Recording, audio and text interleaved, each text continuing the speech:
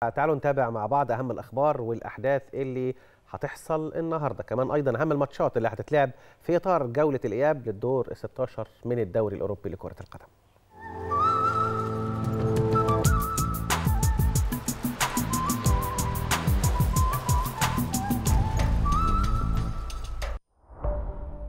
بالنسبة للأخبار المهمة اللي هتحصل النهاردة فهيتم إعلان أسماء الأمهات المثاليات لعام 2023 على مستوى الجمهورية وده بعد الانتهاء من تقييم قصص كفاح الأمهات المثاليات.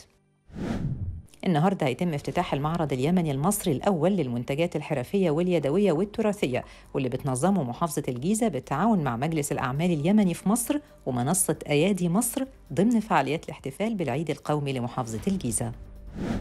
النهارده واستمرارا لتقليدها السنوي الهادف لتعريف الأجيال الجديدة برموز وقامات الإبداع قررت دار الأوبرا المصرية فتح متحفي محمد عبد الوهاب والآلات الموسيقية بمعهد الموسيقى العربية مجانا للجمهور وده احتفالا بذكرى ميلاد موسيقار الأجيال.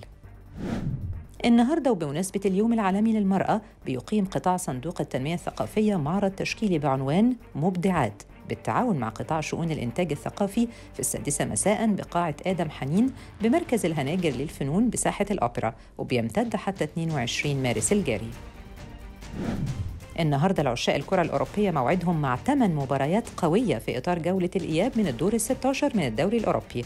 أهمها مباراة يوفنتوس الإيطالي وفرايبورغ الألماني الساعة 8 إلا ربع. وفي نفس التوقيت هيلتقي ريال بيتيس الإسباني مع مانشستر يونايتد الإنجليزي. والساعة 10 بالليل هيلتقي أرسنال الإنجليزي مع سبورتنج لشبونة البرتغالي.